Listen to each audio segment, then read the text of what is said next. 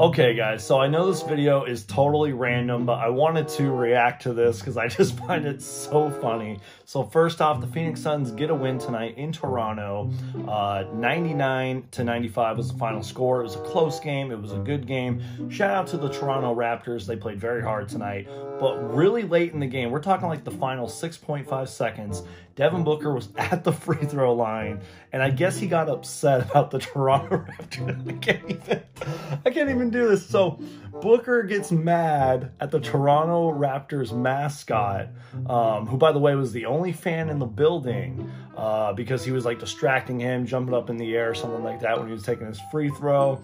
So of course, NBA Twitter and the internet got to work, and I just got to read you a couple of these reactions because they are funny. Shout out to Worldwide Rob and Josiah Johnson and a few other people because this is hilarious. It actually started right here, you guys. This is so funny. He's like, wait for it, wait for it. And you see the actor just walking by. Why do I find this so funny? This is my kind of humor. I find it funny. And then Worldwide Rob was like plotting his revenge with a picture of the raptor. And then someone responded, book when he saw the mascot. But I think the funniest one of all is Josiah Johnson saying the Raptor outside the Suns locker room waiting for Devin Booker. I don't know why I find this so funny. I'm sorry, you guys. It's just my humor, okay? It's funny. Just laugh.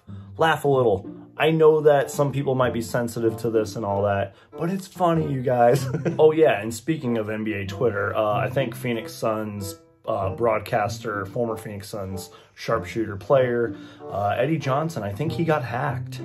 Uh, yeah, he posted a tweet talking about like $550 gaming consoles. Message me now. Selling for a friend of mine. I think he got hacked. oh, I love the NBA. I love Twitter. Um, hope you guys enjoyed the video. Make sure to Hulk smash that like button. If you saw any other funny reactions, uh, leave them in the comments or tweet me at Suns Geek on YouTube.